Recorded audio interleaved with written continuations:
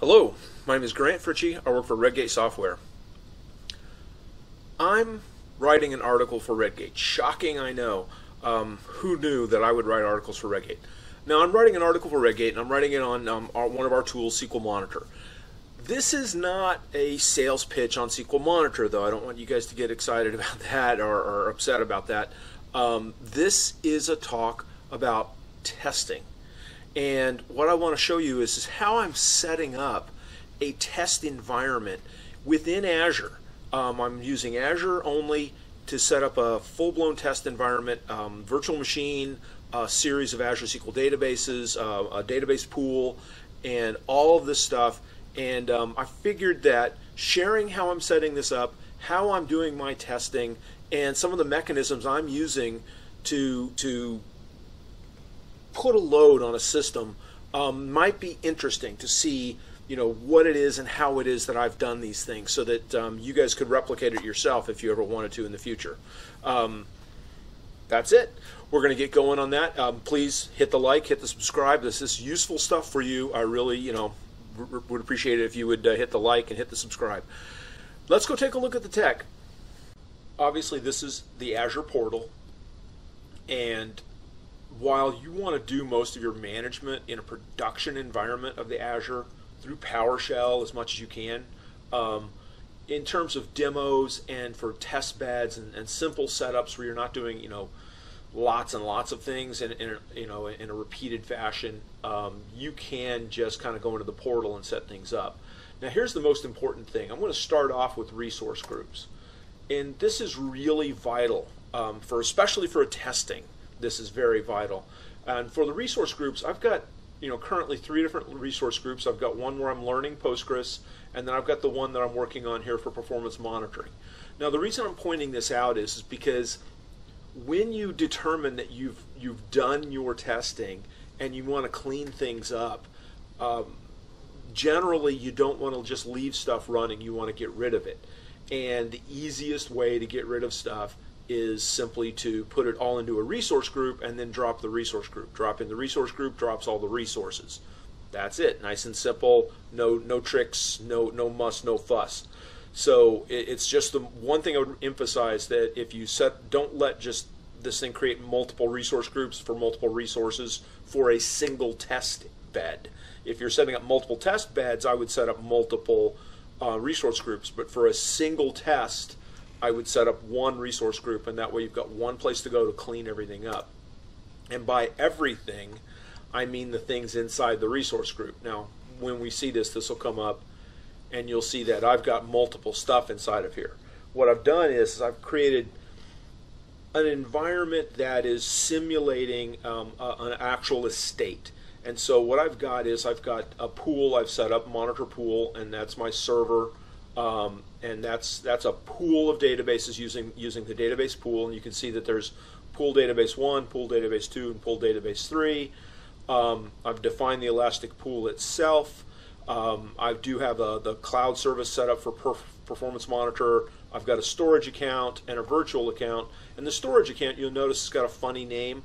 I let the default pick it for the storage account for this test mainly just to, to illustrate what you're going to see if you don't control things directly. So it took the virtual machine that I was setting up and used that virtual machine as you know the basis for a, a name and then threw a number on it to, to make sure that it was unique.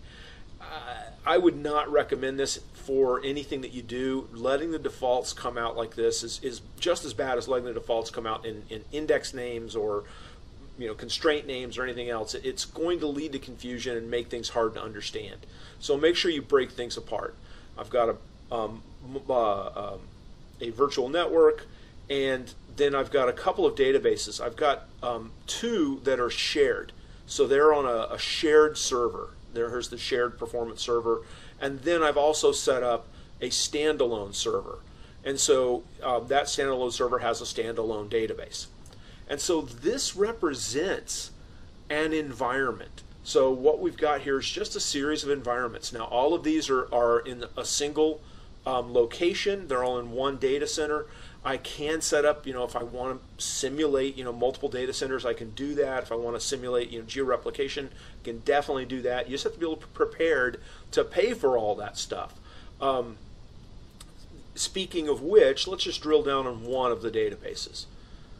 Now, each database I set up, I set them all up just slightly differently. Some of them are monitoring core, some, uh, some of them are monitoring DTU, and um, it's just a question of, of determining what it is I want to test. And so um, this one, it looks like, is um, using DTU. So it, it's not looking at core, this one's looking at DTU. Um, obviously, there's no load yet because I have not set that part up yet. That's going to be part two of this video. You'll see it here in just a second. Um, but basically, that's the setup. Now, what I'm going to do is, let's go back.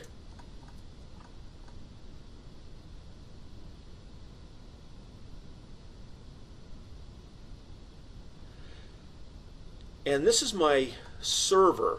Now, this server is going to use SQL Monitor to monitor the other databases.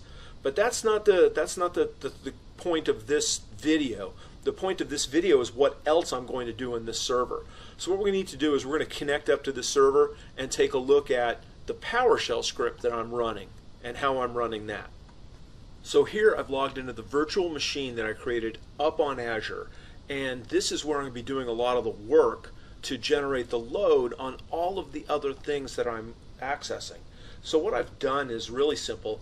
I've created a store procedure and this is the store procedure, create or alter sales order info um, by sales, uh, sales info by sales order ID. And I'm just going to pass in sales order ID and retrieve some information. It's very simple, straightforward store procedure. Using the databases, um, I mean, all every one of these, if we look over here, is a sample database. Um, so they're all the same database, but I can put you know varying loads on them. Um, they are all the same um, example database that comes with Azure. So it makes it really easy for you guys to, you know, quickly slap together a database and, and put things to work. Now, how am I calling this? So I have a PowerShell script running and it's making a connection to my database and you guys can, you know, here's my password. You guys are, feel free to use it.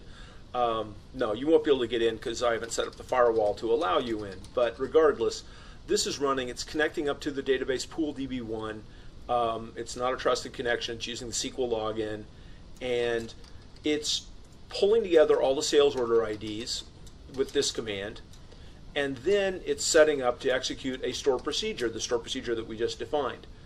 And optionally, occasionally, I'm clearing the cache. And because this is Azure SQL Database, I'm using the Alter Database Scope configuration to clear the cache way the way this works is is it runs forever because while one is not equal to zero, keep running.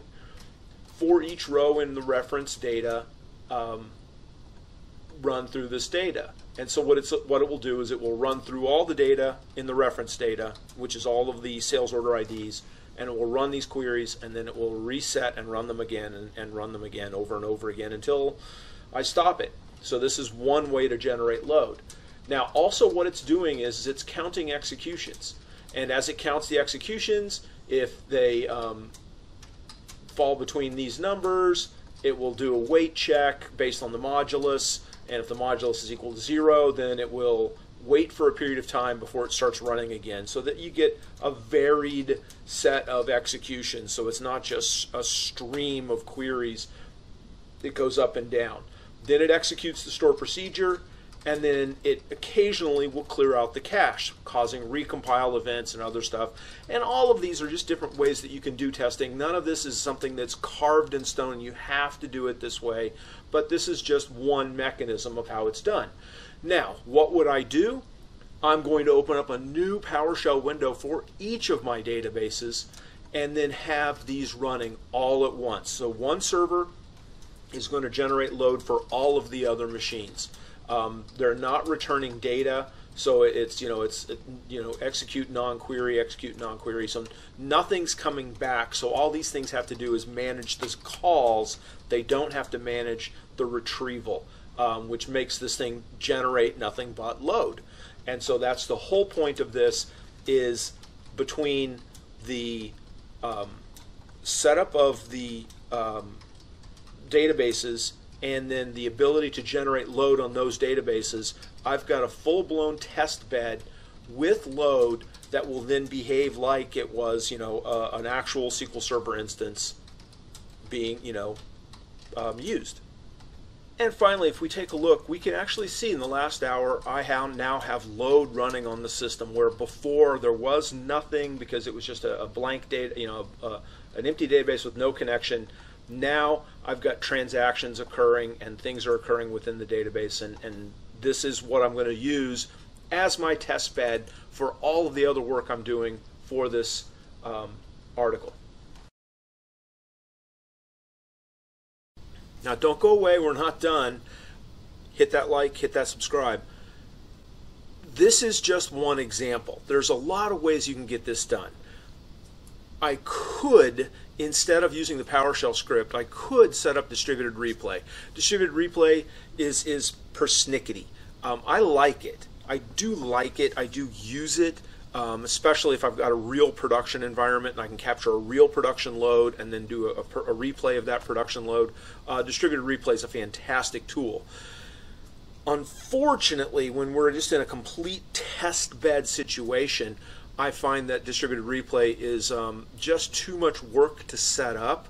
Um, and and if I don't have a, a real load that I have to you know I have to build and generate the load in order to capture the load in order to replay the load um, distributed replay is just too painful. Um, it, it's so much easier for me to build a load in PowerShell as, I, as I've done here. You know, it's obviously simple load, but a, a, distributed load that, that you can run in multiple places and, and get things done.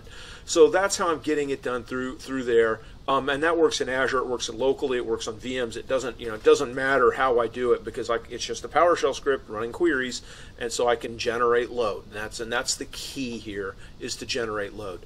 Now, in terms of what I'm monitoring and how I'm monitoring it, we're not going to get into that here. Um, that's why I've got the article for.